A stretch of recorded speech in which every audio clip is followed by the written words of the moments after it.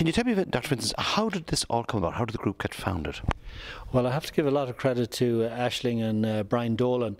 They were uh, looking into uh, uh, doing some development adjacent to their own lands and they uh, found out purely by accident that there was an application in for this waste facility Uh, uh, in Poolboy, adjacent to the old dump. So that's so they uh, started the campaign, got the uh, information regarding the permit. It turned out that it's far bigger than we had initially expected, or anybody knew. Nobody seemed to know about it. The application was done very quietly before Christmas, and. Um, they've just started to get a group together because there's a short window of opportunity to object to this. We've got until the 24th of January to lodge an objection. The public meeting tonight was told of a range of coincidences from the short window of uh, objections and when the, uh, the actual license was uh, uh applied for, and the fact that it, it miraculously was just at 22,500, which was the level at which an EPA involvement or an EPA uh, feasibility study or impact study was not required. did any of that strike you as odd as part of the committee? Definitely, there's been a lot of aspects of this that's somewhat underhand and clandestine, as you say. And what we've also found out is that in addition to the original application for the site adjacent to the old uh, uh, Poolboy dump, the, uh, the same group or company has acquired over 70 acres of land uh, across immediately across the road, adjacent to uh, uh, the Poolboy facility. So again, the question arises: What is the plans for this? It's uh, even closer to the Callows and even a worse location for a, a, waste facility than the current one in Poolboy. You presented some uh, research on medical issues and um, ailments that may occur from uh, people living in proximity to such activity and landfill with the uh, audience tonight. What were those key findings?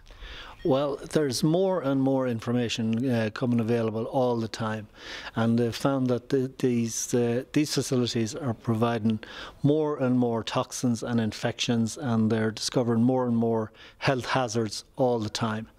Uh, the, the, some of these take a long time to develop, especially those associated with heavy metals, lead, cad cadmium, manganese. They're now being implicated in conditions such as uh, chronic illness uh, and dementia. But they have, over uh, over the last number of years, strong evidence that it is associated with congenital malformations, uh, low birth weight, growth retardation.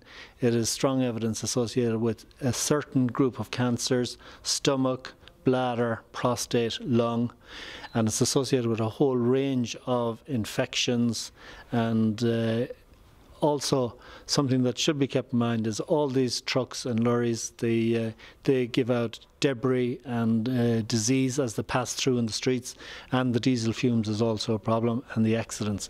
So it's not just the gas and odors it's the leachate getting into the water system which is one of the one of the major uh, health hazards. I can just point out uh, uh that cigarettes and tobacco were introduced around 1600 uh, into this country, but it wasn't until 1950s that there was definitive evidence that it caused lung cancer. So sometimes it takes a long time to accumulate the evidence. Now we already have a lot of evidence that it definitely causes many major serious health problems.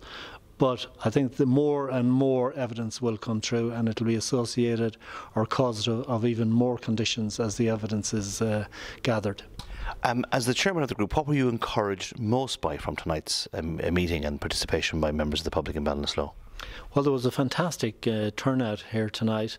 There's a, again, this was an example of the fantastic uh, uh, community spirit that's in Ballinasloe. I've seen this over the years to do with the hospital, to do with the previous uh, dump and Poolboy, and the way the community came together to get it closed, and again tonight.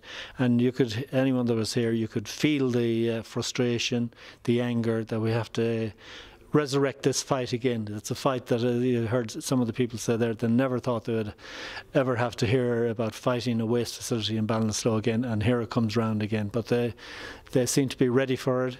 We had a, a great representation from our uh, county councillors, uh, senators, politicians, and Minister Naughten was here as well, and they're all giving their support to this facility this to the protest against this facility too. The, the, meeting it seemed quite surprised to hear the former town councillor Carmel Greeley um, read from the High Court injunction that was secured by 21 people in the community uh, against Galway County Council uh, at the time of the installation of the first landfill for Galway County Council.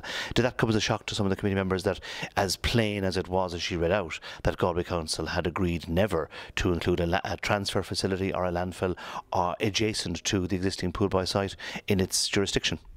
Well, it was fantastic. It was great to hear Carmel Greeley, one of the uh, original uh, group that protested against the uh, dump in Ballinasloe. They took it all the way to the High Court and they got the High Court uh, uh, decision. She read out the decision, everybody heard it clearly. It was not just that there could never be another.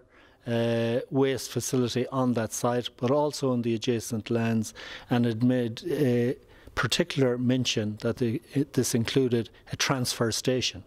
So, I mean, it couldn't be more clear that this has been prohibited uh, by a High Court decision. And what next for the campaign? Well, this campaign, like uh, I said, there, it's just starting. Uh, we have got a short window to lodge our initial objections, which has to be in by, as, as I said, 24th of January. Uh, that will be done. We will meet. We will get some more expert opinion from people. Uh, will involve the EPA.